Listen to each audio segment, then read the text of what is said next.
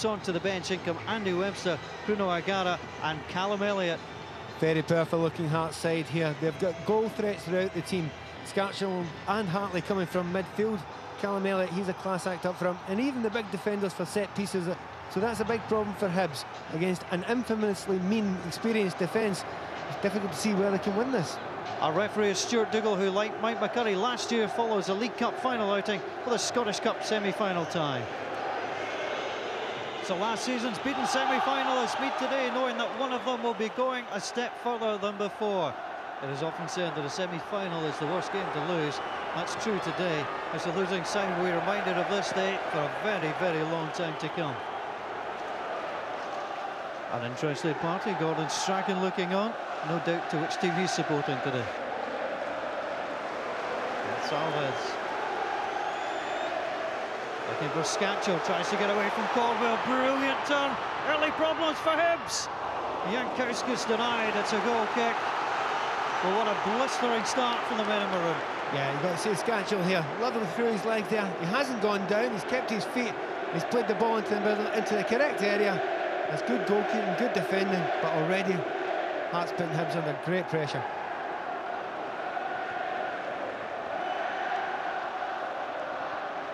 Aguiar look to play the ball in field. Hearts Rob Glass. Here's Hartley. Hartley shuffles it forward onto Jankauskas. Drives the ball in. Plenty of power in the shot pack. Certainly was, and uh, Rudy Skacel following up there. Any drop at all from the goalkeeper, and it would have been in the net there, but lots of power, keeps it low, difficult one. Well dealt with. Well, tumbled over. Here comes Ivan Sproule against Steven Pressley. And the corner kick awarded against the Hearts captain. First little flash there where Sproule's maybe got a one-on-one.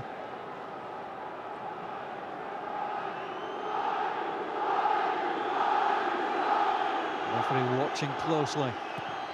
Thompson swings it in. Was missed by Caldwell and then by Fletcher.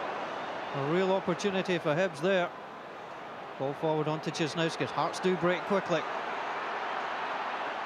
Holding off three Hibs players onto Jankauskas. Good run from Elliott. Gonçalves too has gone forward. He's got plenty of pace, Gonçalves. Just not enough. I'll tell you what, he didn't give up on that. He certainly didn't, and because Whittaker had gone up the field, there was a huge gap in that uh, right full back area, but that was a half chance for Hibs at uh, the corner kick before then. Neilson won the header. And Webster went to stretch. Sproule can't get there. Whittaker can. Excellent play from Hibs. Sproule to Whittaker. And the drive dealt with by Craig Gordon. Certainly was. I mean, you would actually expect Craig Gordon to save this because it's a good height. Much prefer to get it down low, but it's powerful, it's on target, but it's straight at the goalkeeper. Again, that's a great move by Hibs. That's the best effort so far in the game. And Hibs really are coming into it now. Try and drive it in low, tries to look slightly higher one. Fletcher came across there. And it really has been a good opening to the match for the men in green and white. It certainly has. I mean, that's the third corner kick, I think. He's came in there. Got, he's got in front of his defender there. That's surprising there to see that happening. It's not often you see Webster getting caught like that. Well, an internationalist who played alongside Edgar Jankauskas for Lithuania, also played for the USSR. He's in charge now, despite Graham Rix having guided them to this stage. Benjelloun against Gonçalves. Gonçalves does well and draws the free kick. And a few arguments about it. Yeah, Benjamin should be holding that up a little bit better there.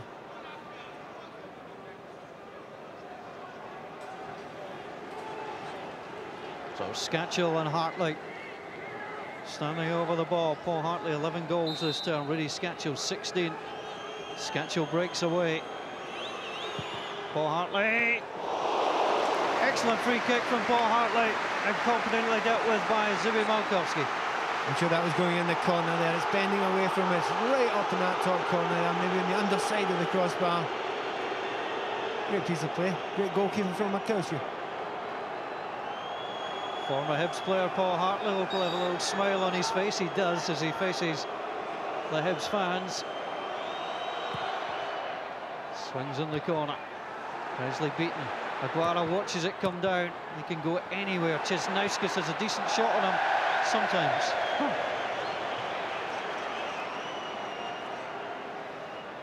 Well, a few empty seats in the Hibs end. Some of those sections were family sections that Hibs were unable to sell. But the green and white still come through in number. It's sad to see there is empty seats. Too many people would like to have filled them. Caldwell forward, Thompson. Webster has to come out wide, so it could be a chance for Sproule. And what a chance it was for Ivan Sproule. He was in front of the goal there, but I think if he'd have let that ball through his legs there, I think Benjelloun was waiting for it. Nice ball back, let it through his legs.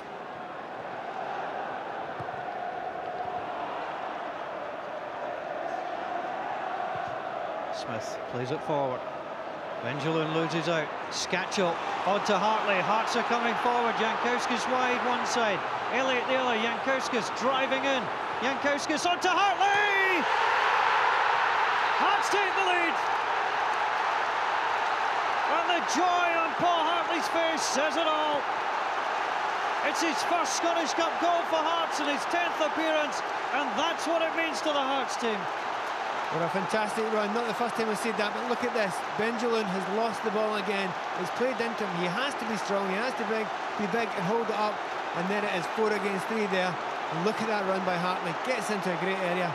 Great awareness outside of his right foot. And that's a great goal. There's nothing the goalkeeper can do about it. And that is a quality goal.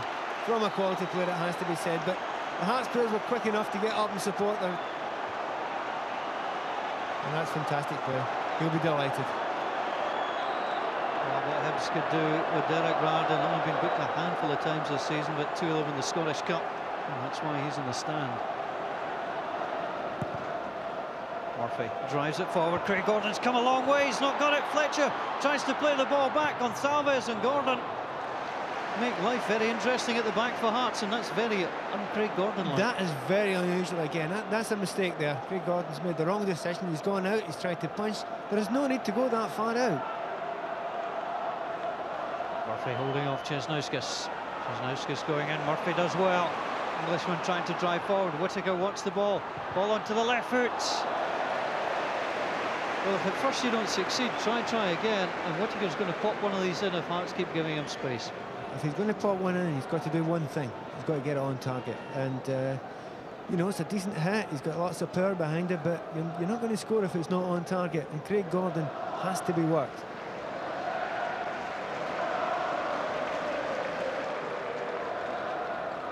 A minute of stoppage time be played at Hampden. The second semi-final. Of a man down with a head knock. It's the captain, Stephen Pressley. And Steven Pressley required stitches and went off against Falkirk last Saturday. And Benjamin too holding his head. And worrying moments for Valdas Ivanauskas. Yeah, the defence has looked uh, shaky maybe at the start, but uh, didn't seem a great deal in this at the start. But we'll see a lot of knock-aheads there, side on side. That's painful.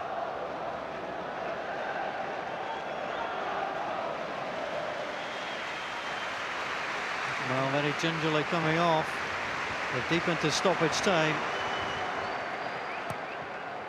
Dying seconds of the half, and referee Stuart Dougal decides that that is it.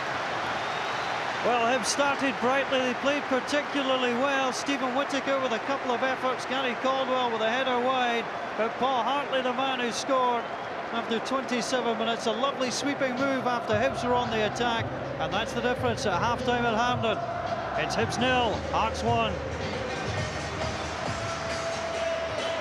Well, Paul Hartley scored the goal. He's now got the added responsibility of being Hearts captain. This Hearts had forced change at half-time. Takis Fyssas comes on for Stephen Pressley, injured at the end of the first half. Stuart Dougal gets us underway for the second half. These clubs reached the semi-finals in 1986, 93, 95, and again in 2005. So the odds were they were going to be drawn together at some stage in 2006. Saw the draw putting the Edinburgh clubs together.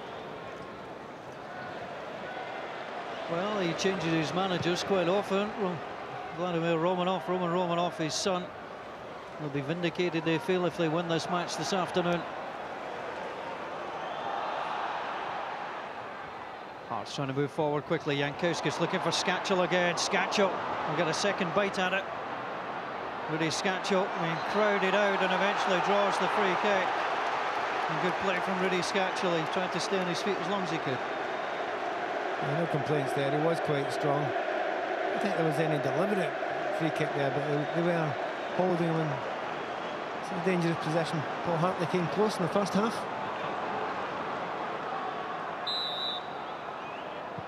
Goes again. That took a deflection. And Zibi Malkowski comes across and makes the save, an important one too. Loves that top corner there. You're right, it got a deflection, and again it was going straight into the corner there. And that's a great save there. A little arguments come off his shoulder area, but I don't think that was a penalty kick. So Hearts with the opening corner of this second half. Hartley wants movement, drives the ball in. Stooping there was Chris Hogg. Benjelloun won't get away from Cesnauskis. Well, Tony Mowbray must wonder what it would have been with Scott Brown and Derek Riordan, Chris Killen. Benjelloun, great run by Thompson. Skacel coming back too. Ball came in. And Kevin Thompson I think he'd taken a touch there, he might have forced something out of Rudy Skacel. I think he was running out of legs, though. I mean, he's got up there as much as he can, but you know he's getting a bit tired when he gets there, and he's leaning back and he's stretching when he gets in. But slightly disappointing for him. There was there was no great effort to get into the box there from the two centre forwards when he once he got wide.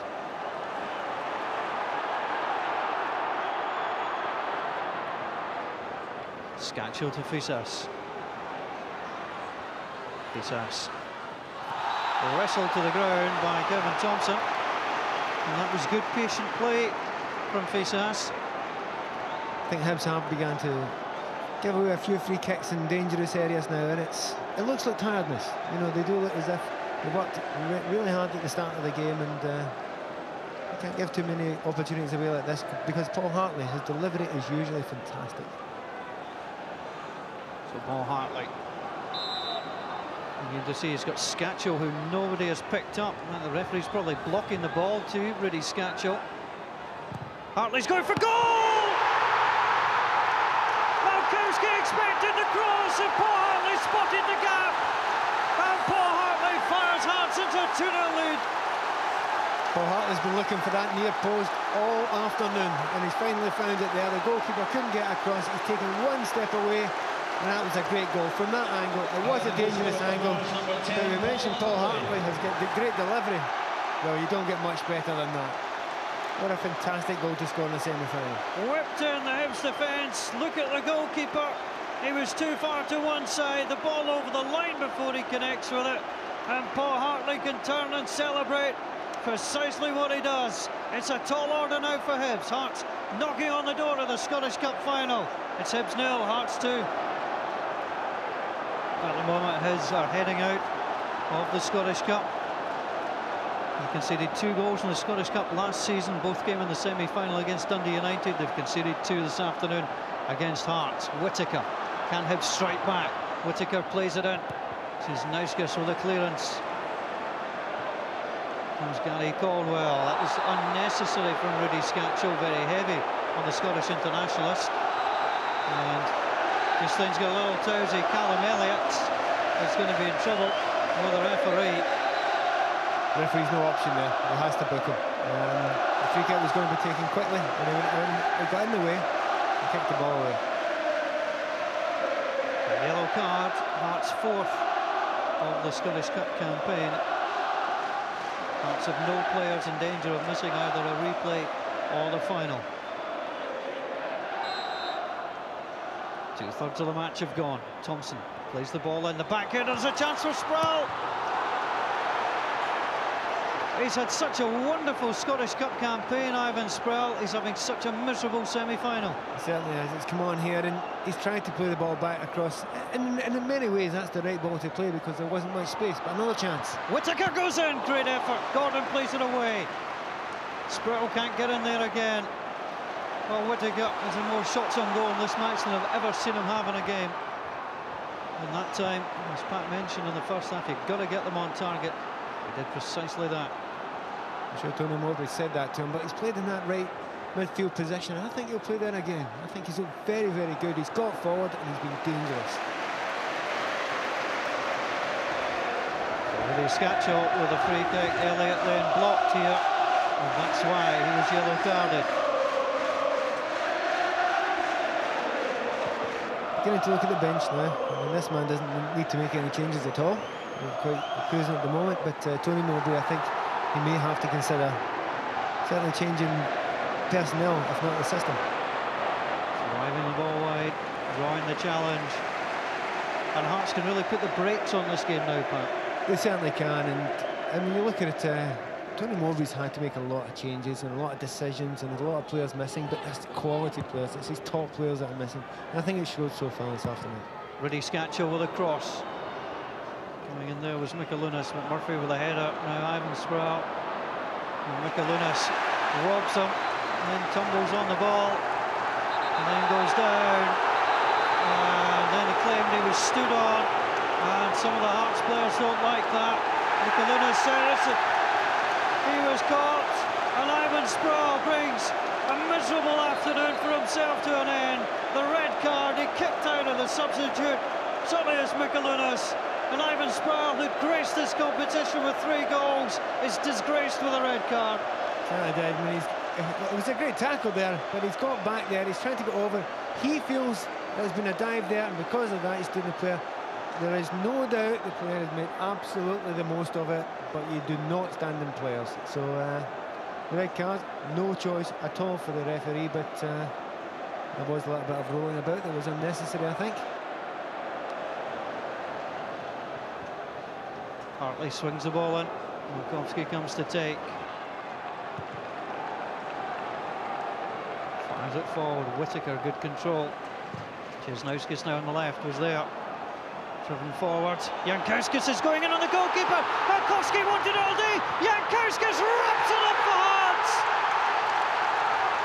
A horror show by the Hibs goalkeeper. Jankauskas closed them down. And Edgar Jankauskas ensures that Hearts go through to the Scottish Cup on the 13th of May. It's Hibs nil, Hearts three. Oh, it's painful. You know, on a day you want it to be a big day. The goalkeeper had a good first half, but this is a dreadful error. He waited far too long there. Jankowski could actually have gone down and had him sent off, but uh, he held the ball up. I thought he held waited quite a long time. It was getting a narrow angle there. He passed it calmly into the net, and it has to be over the, the period of the game, particularly the second half. Hearts have deserved this, and uh, it's far too much for the Hibs fan to take. And him too. He might even last the final.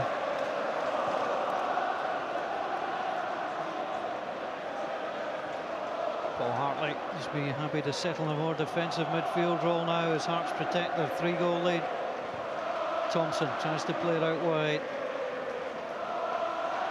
Mikoliunas just swung the ball away.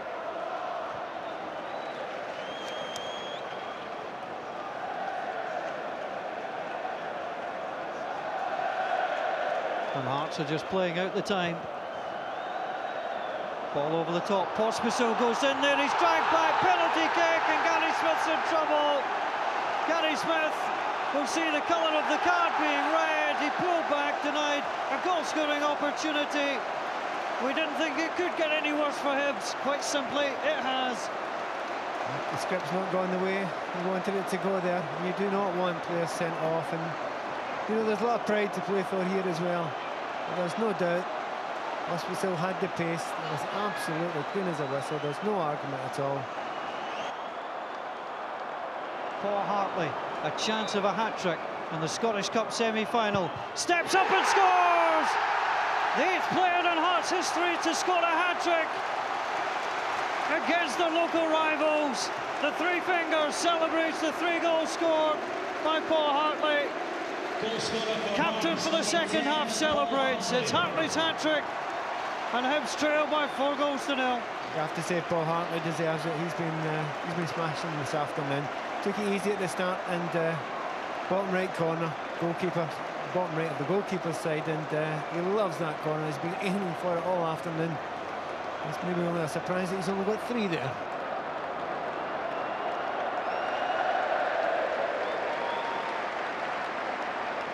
What an afternoon. Be interesting to see what he has to say. He's always interesting to listen to. And Valdas Ivanauskas is delighted with the way it's gone.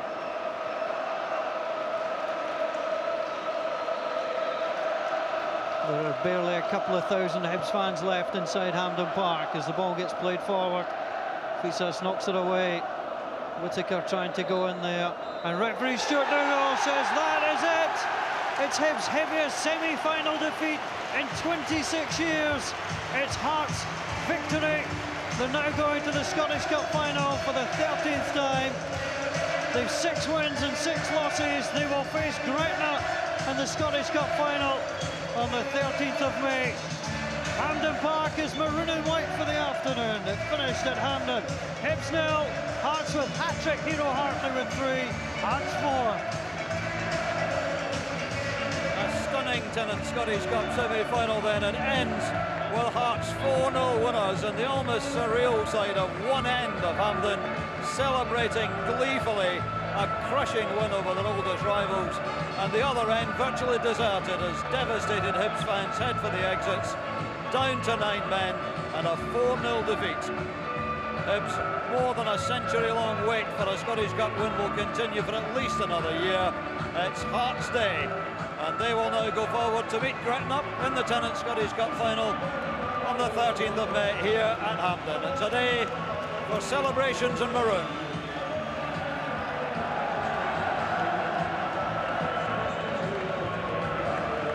Let's hear then some of the reaction from that victorious Hearts squad. They're with Kennedy Nilsson.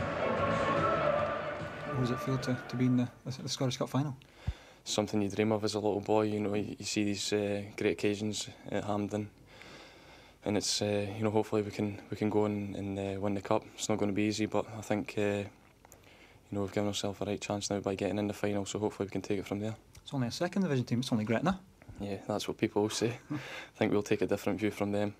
keep saying it, I know that, but we had six under 21 started the game today, and it's sometimes in, in semi-finals. You know, it- it's games like this that'll give them the experience that hopefully when we come back, we, we will be better. And um, somewhere down the line, the experience and and the quality that uh, we've got in the football club, a lot of that quality was sitting in the stands today. But um, the quality we got in the football club will bring this club back to semi-finals and finals in the future. I'm sure of that. Well, I know that we usually do the commentary, but I'm going to get you to, to do the honours at the moment. If you just look at that monitor there and um, just talk us through your goals, as they say. Yeah, Rudy's played a ball and um, I've got plenty of space and just Edgar's made a run on the left hand side and I've just followed my pass up and a great delivery and just took a nick and you know, thankfully for me it's, it's went in. Beautiful No, finish, great. I have to say. Yeah, it's a good finish. Um, you see I'm delighted with that. No, that's not too shabby, is it? You know, I've just I've seen the goalkeeper moving over and I've just sort of, as you would say, gave him the eyes. and were you pleased that there was only one man in the Hibs wall there? Probably we would put one man out uh, uh, in our wall too if it was just one man taking the free kick and I've just seen him moving over a bit and know, thankfully it's in. Great penalty as well. Could, could you believe it? A hat trick in the Cup semi final it's- against Hibs? It's just not sunk in yet. Um, I'm sure it'll take a, a few more days to, to sink in. And you know, I've- I'm the penalty taker, so you know, I think that's 13 out of 13 for me at the club. So you know, it's always special to, to, to score against your rivals, but to score a hat trick is is even more pleasing. It doesn't get much better than this. Hearts beating Hibs 4 0 in the semi final of the Scottish Cup. It's big results. It's big results, and enjoy. We enjoyed this game this victory, but Wednesday's next game. we're not a team that sits everybody behind the ball and tries to soak it up. We're a team that tries to go and win football games. And when you do that and you, you, you play an open type of game, you tend to lose goals if you because you go one down, you go chasing an equaliser, you lose two. You know, you can then decide if you want to stick everybody behind the ball and settle for that like a lot of teams would do. But it's not our nature. And and if we lose four goals, then, then so be it. It's, uh, you might as well lose four as one in the semi-final because there's only one team goes through. How were Stephen Presley and, uh, and, and Gonsalves? They, they, they took bad head knocks. Yeah, I think both uh, suffered concussion. I think we ended up seven different players playing in the back four, but uh, these things happen in football, especially derby matches. You know, it's a lot, of, a lot of kind of hectic and, and tackles going and such like. But I think you know the boys, the boys will be okay. And big game for us.